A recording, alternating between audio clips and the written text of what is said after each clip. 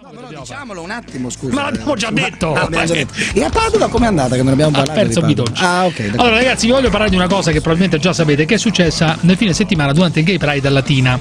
Cosa è accaduto durante il Gay Pride a Latina? Ne ho scritto anche sul quotidiano libero. Lib- per- Uh, divertente quel quotidiano bellissimo. Allora, eh, un signore, ridere. pare un imprenditore, ha messo un cartello, un manifesto, uno striscione con scritto Viva la fica mentre sfilava il Gay Pride. Mm. Ah. Qualcuno dei signori del Gay Pride si è incazzato, ha chiamato la polizia e i carabinieri, i quali non sono andati a cercare dei pericolosi eh, terroristi omicidi, no, sono andati a casa di questo imprenditore e hanno fatto rimuovere, non so con quali conseguenze, denunce, eccetera, non credo, speriamo di no, hanno fatto rimuovere lo striscione. Ripeto, Viva la fica, c'era scritto Viva Vabbè, la fica. Può essere interpretato come una cosa volgare, secondo le, Beh, come dire, ma secondo c'è Parenzo, bisogno. secondo ma, no, ma, ma no, non è una roba da maggioranza silenziosa. Cioè Ma che ho bisogno capito, ma hai appeso, hai Ma appeso un cartello. Ma come che bisogno? c'è Ma chi se ne frega? È uno sberleffo. È uno sberleffo, una presa Ma per il culo. ma Sfila gay pride, io scrivo Ma viva la fica. È inelegante. Ma sarà inelegante, ma chi se ne frega? Ma perché deve arrivare la polizia a casa mia? Perché ti devi arrabbiare? Ma perché Al Gay Pride di Latina, una vocina che abbiamo registrato, no, non abbiamo registrato purtroppo, ha detto Ma che è quello striscione così volgare e offensivo? Eh Così sì, ce l'ho detto al telefono quando abbiamo chiesto delle informazioni.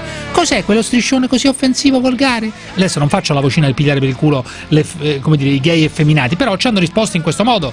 Cioè, per la sostanza è questa: c'è uno striscione offensivo. Cosa Sì, c'è di offensivo nello scrivere viva la fica? No, ma è inelegante. Tu dici che è la cioè stessa che- cosa che durante un convegno degli- delle associazioni ebraiche eh, viene scritto sopra, che ne so, viva i campi di concentramento, non Beh, lo so. no, Vuoi fare lo stesso esempio? No, no. Non lo so, per esempio, no, ma per dire un esempio paradosso, no? eh, no, paradosso no, sicuramente non l'esempio Poi tra non ci sta. poi, tra l'altro scusa, una parte di quel corteo, cioè le lesbiche, approveranno, no? Cioè, viva la figa, le lesbiche del Sì, ma corteo. mi sembra una provocazione soprattutto volgare eh, Ma quale sciocca, volgare? Ma, dai, inutile Ma scusa, ma, eh, ma tu so- sai quello che accade durante il Gay Pride? Per me va benissimo. Succede? Gente piumata, gente sadomaso, gente che striscia per terra. ma no, hai visto le fotografie? Ci sono anche, ci sono, ma va benissimo. gente. Col culo di fuori, non col pisello, col culo sì, però. Eh, con mezzo culo di fuori, ma per me va benissimo. Possono fare quello che vogliono al Gay Pride. Figuriamoci, sono un grande sostenitore. Anche quelli che dicono, come alcuni gay militanti conosciuti VIP, che dicono no, è una cosa superata. Ma è sbagliato anche dire questo, secondo me.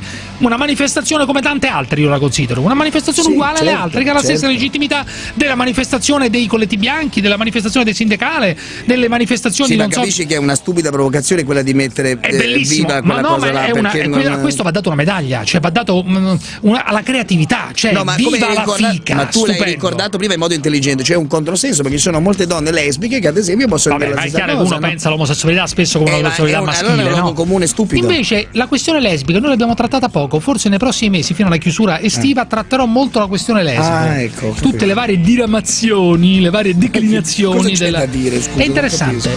Eh, intanto andiamo a Claudio da Messina, vai. Claudio.